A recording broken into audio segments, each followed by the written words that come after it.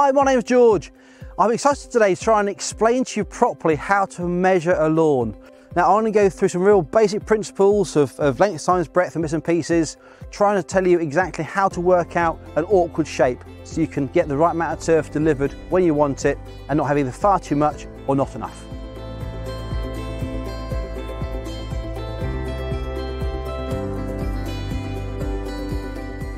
For measuring the area, you will need a tape measure, some pegs, a hammer and a string line.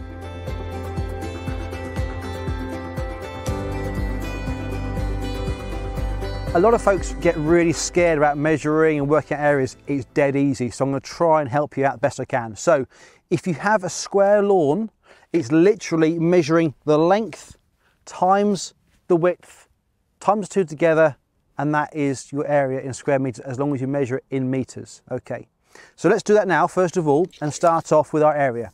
So if we take this area and we'll measure the longest piece first. When you do measure, try and have a nice long tape measure which will make your life a lot, lot easier and save having to move the tape measure along as you go and put your finger down and try and mark out where it is. So that is 8.65 meters or 865 centimeters. And if we then bring that in here and measure the width, it's really important. You take your time measuring and you do it accurately because it saves a lot of time, a lot of hassle later on. There's nothing worse than being a few of turf short on a job. So that's six meters. So if we take that six meter width by the length, which is 8.65 meters, and times the two together, so 8.65 times 6 equals 51.9 square meters. So call it 52. So that is the area you would need if it was just a square area. Now let's look at if the area was a triangle. If we're going to measure a triangle, okay, it's really easy. But I'm going to use a tape measure and fabricate a triangle. So if we just uh, pop the tape measure down here somewhere and assume this is the base of our triangle that we're going to measure, which is 7.5 meters. This formula works for any triangle so we can take that measurement there, which is three meters, but we could take the height times the base divided by two, and that gives you your area for triangle. Okay, so it comes on to areas of circles. Everyone just goes, ah, comes circles, quite easy. So look, I'm no artist, but let's just try and knock up some sort of circle that we can look at how we're gonna measure. So, assume that is a circle in my garden. What do I do? We take the diameter. The diameter is that measurement there, which is 1.8 meters. So the measurement here from the circle, from the center of the circle to the end, and here comes along Bertie, is 0.9 of a meter. That's the radius. So it's your radius times itself times pi, which is 3.14. So for me, it's 0.9 times 0.9 times 3.14, which is 2.54 square meters. So this area, if it was just a nice square area, it would be really easy to measure, as we've already explained. Now, when there's a slight curve in a lawn, which we have, and obviously the jobs in your garden and will happen all the time, I want to try and explain how the easiest way is to measure that area. So just bear with me. We're going to go six meters this way, which effectively is the same length as the far width.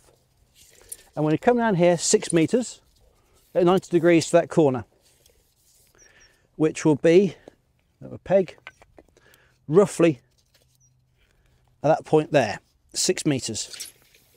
I'm then going to take 8.65 meters from this corner back to the post to make sure this is dead square, okay?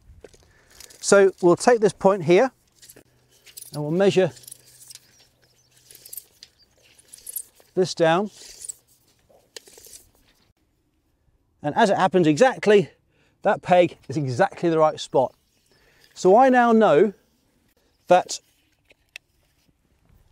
had it be a square, we know the area of that. I've then got to try and take away this area here. Otherwise, I could order the turf, no problem at all, but end up with far too much. Now, this way is a really easy way of doing it. I'm going to bang a peg in every metre along here. and I'll explain as to why I'm doing that in a second. So let's bang some pegs in here. I'm going to try and work out the area of grass I want to take off. And we know that the width is six metres.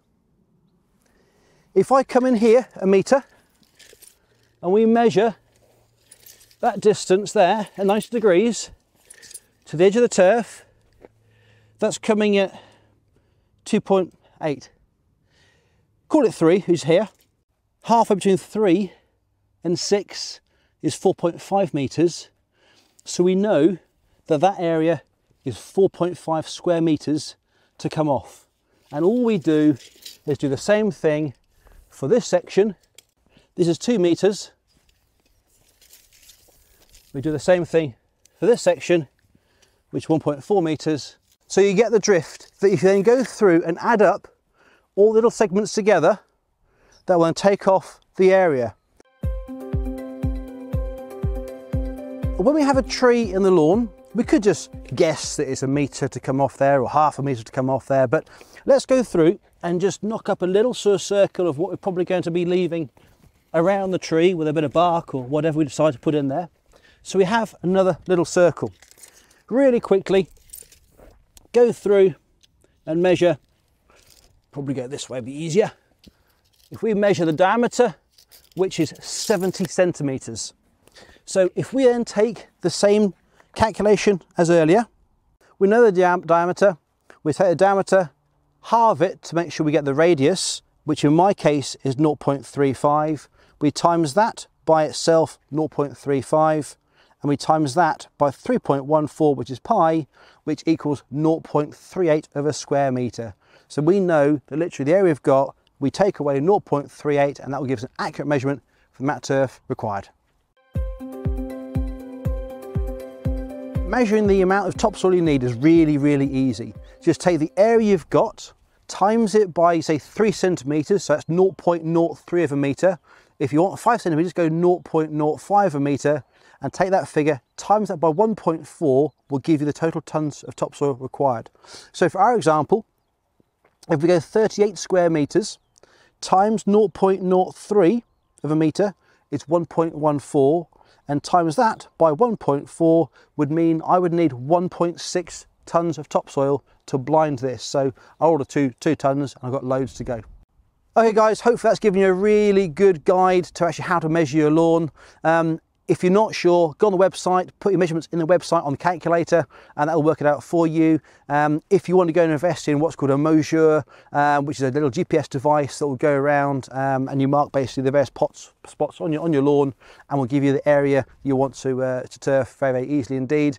But look, if you've got any other uh, questions or need any more information at all, please get in contact. The team in the office will look after you all the time and make sure they can hold your hand to make sure they get the right amount of turf delivered when you want it.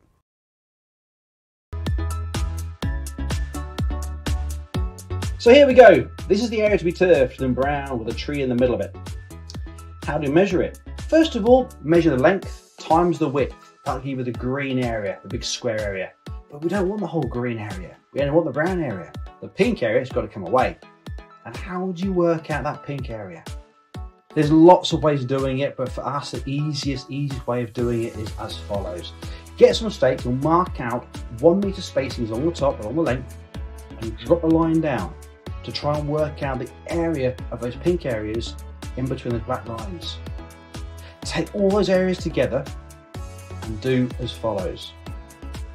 Take length 1 and measure length 2 and measure the width, which you know is one meter.